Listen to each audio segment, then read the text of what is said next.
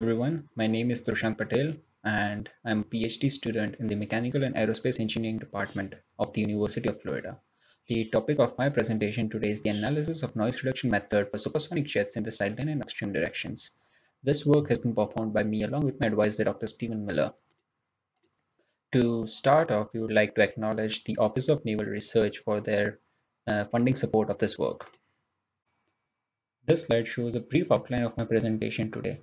I'll start with the motivation of why we are doing what we are doing. Then I'll give a brief overview of the identification of source terms for two different components of supersonic jet noise, which are the fine scale mixing noise and shock associated noise. Uh, using the identified source terms, we'll develop statistical prediction models for these two different components of jet noise.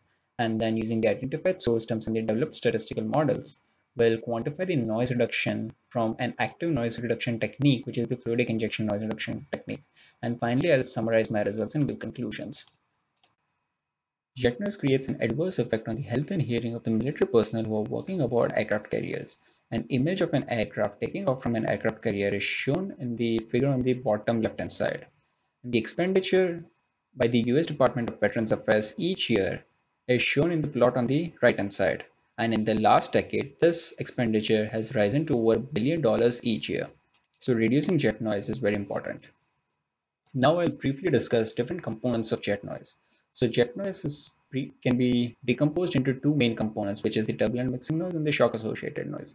The turbulent mixing noise can be further decomposed into the large scale turbulent mixing noise and fine scale turbulent mixing noise.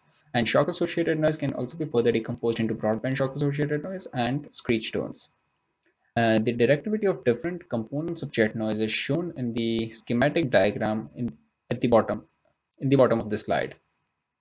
So the fine scale noise and the shock associated noise are mainly radiated in the sideline and upstream direction, while the large scale noise is uh, radiated in the downstream direction.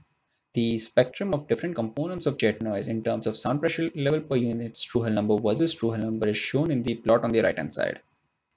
So we can see that at downstream directions, the spectrum is entirely composed of large-scale mixing noise, while in the sideline and upstream directions, the broadband shock associated noise and fine-scale mixing noise dominates. So in this work, we are going to mainly focus on the broad hump of shock associated noise and the low frequency of fine scale noise, and we are not going to focus on the large structure noise. So now I'll discuss a brief overview of the prediction model. Uh, this prediction model is used for the identification of the source term as well as for the development of the statistical model. So we start with the Navier-Stokes equations as the governing equation and then use a unique decomposition approach proposed by Dr. Miller and decompose the field variables into time average phase quantity, fine scale isotropic fluctuations, large scale anisotropic turbulent fluctuations, and the radiating acoustic terms due to the fine scale and large scale turbulent structures. Then we bring the sources which are the base flow, fine scale fluctuations, and large scale fluctuations on the right hand side and keep the acoustic radiating terms on the left hand side. Then we linearize the left-hand side and use vector Green's functions approach on the linearized variables. Then we can find the spectral density of pressure using a convolution integral of the uh, vector Green's functions with the source terms.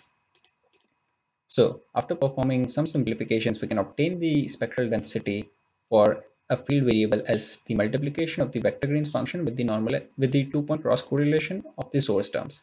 The two-point cross correlation of the source terms is given in the second equation. And for obtaining the spectral density of pressure, we substitute k equal to 4 where k equal to 0 represents the field variable density, 1 to 3 represents velocity and 4 represents pressure.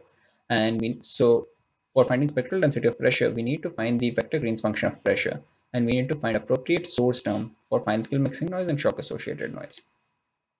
The source terms which are on the right hand side are shown in the slides. The theta 0 represents the source term for continuity equation Theta i represents the source term for momentum equations and theta 4 represents the source term for energy equations. And there are lots of terms present in these and we need to find different two-point cross correlation between different equations. So the number of terms are on the order of 1000. So we use different, we eliminate different terms using physical mechanisms. And different researchers have found that the viscous terms are not very effective in sound generation. So we neglect all the viscous terms and we use a scaling analysis to identify the source term for shock associated noise and we directly identify the source term for fine scale mixing noise. So we identified two different source terms for fine scale mixing noise and shock associated noise from the Navier-Stokes equations. For fine scale mixing noise, we identified the same source term which was proposed by Tam and Auriault using the gas kinetic theory similarity argument. but we obtain it independently in this work from the Navier-Stokes equations. So the source term for fine-scale mixing noise is the total or material derivative of the turbulent kinetic energy from, from, from fine-scale structures. And this represents the pressure exerted by the fine-scale turbulent structures. For shock-associated noise, we identified the source term with scales as beta power 4, where beta is the off-design parameter, and the source term which we identified is the multiplication of the gradient of mean pressure with the large scale anisotropic fluctuation. So here the gradient of mean pressure represents the strength of the shock cell structure, while the large scale fluctuating velocity fluctuating velocity represents the convection due to the large scale structures. So now we'll develop statistical models for fine scale mixing noise and shock associated noise. So we'll start with the statistical model for fine scale mixing noise.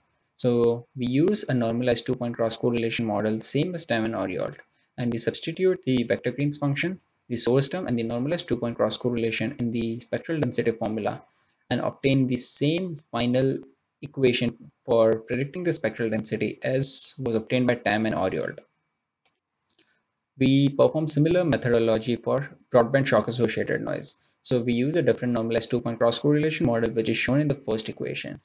And we substitute vector Green's function, source terms, and the normalized two-point cross correlation uh, in the spectral density formula and obtain a closed form prediction, which is given in the second equation. So we use RANS CFD equations for predicting the mean velocities and turbulent kinetic energy. And here I would like to point out that very good prediction results are also obtained using LES data with the identified shock associated noise source term with free space Green's function by my colleague Wei Shen. So now I'll compare the noise radiated from different nozzle geometries. So we compare the noise radiated by the fine scale mixing noise and shock associated noise from three different nozzle geometries. The first one is the method of characteristics SMC016 nozzle. The second one is the biconic nozzle and the third one is the faceted nozzle. So different Mach number contours are shown on the figure in the bottom uh, left hand side. So the y-axis is the cross stream direction and the x-axis is the streamwise direction normalized by the jet diameter. So all these three uh, nozzles are operating at design condition with a total temperature ratio of 3. For the SMC016 nozzle, we observe that uh, the shock cell strength in the potential core region is very less while we can observe a quasi-periodic shock cell structure in the biconic nozzle as well as the faceted nozzle. Different Mach number contours at different cross-section cross-sectional planes for the faceted nozzle are shown on the bottom right hand side and we can see the effect of facets near the nozzle exit while the effect of facets is not observed after x over d equal to 2. The noise radiated by all three nozzles in terms of overall sound pressure level at different jet operating conditions is shown on the plot on the top right hand side. We can see from the plot that the noise in terms of overall sound pressure level for the biconic case and the faceted case are very similar at all operating conditions. While the noise from the SMC016 nozzle reduces at the design condition because the strength of the shock cells is very less at the design condition. The fine scale mixing noise at fine scale mixing noise from all three different nozzles are within 1 to 2 dB of each other for all jet operating conditions. So now we will analyze an active noise reduction technique, which is the fluidic injection noise reduction technique using the identified source terms and the developed statistical models. So we modify the faceted nozzle and include two fluidic injection ports on 4 out of 12 facets by following the methodology of Morris and others. So we place the fluidic injectors at 20% and 70% of the divergent section at an angle of 45 degrees and 90 degrees respectively. Schematic of the fluidic injection nozzle is shown on the bottom right side.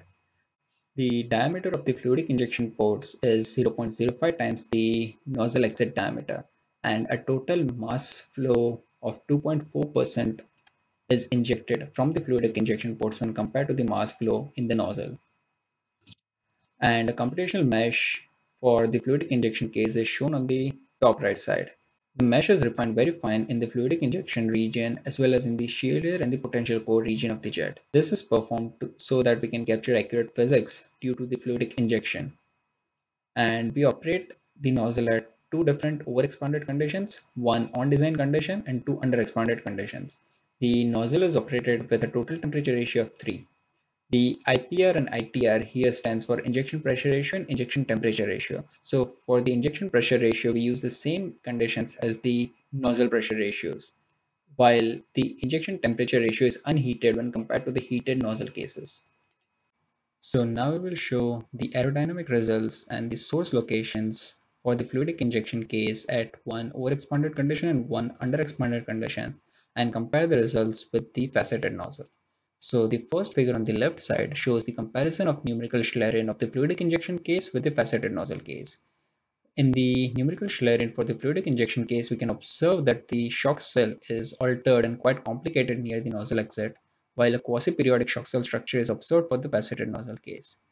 The effective area at the exit also reduces due to fluidic injection and the potential core region is also reduced because of fluidic injection. The contours of Mach number and turbulent kinetic energy for the fluidic injection case are shown on the bottom left side and we can see the influence of fluidic injection at the cross-sectional planes near the nozzle exit. The source intensity and source locations for the fine-scale mixing noise and the shock-associated noise are shown on the right-hand side plots. For both fine-scale mixing noise and shock-associated noise, we observe that the sources are shifted closer towards the jet exit because the potential core length is reduced. For fine-scale mixing noise, we observe that the maximum source intensity for the fluidic injection case with the faceted nozzle case is approximately the same. While for shock-associated noise, we observe that the intensity of shock noise near the intersection of the shock cells with the shear layer decreases by about 50%. However, same intensity is found near the nozzle exit because of the complicated shock cell structure. For the underexpanded case at NPR equal to 5.2, we also observe complicated shock cell structure near the exit of the nozzle. In this condition also, the potential core length reduces and the sources move closer towards the nozzle exit. However, for the underexpanded condition, as the effective area at the nozzle exit reduces, the strength of the shock cell increases when compared to the faceted nozzle case. The Mach number and turbulent kinetic energy contours at different cross-sectional planes are shown in the left in the bottom left side. The source intensity for fine-scale mixing noise is similar to the overexpanded case, while it's different for the broadband shock-associated noise. For shock-associated noise, we observe that the source term intensity increases by about 100% for the for NPR equal to 5.2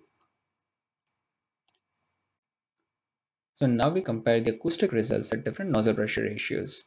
So the overall sound pressure level is plotted on the y-axis while the fully expanded jet Mach number is plotted on the x-axis.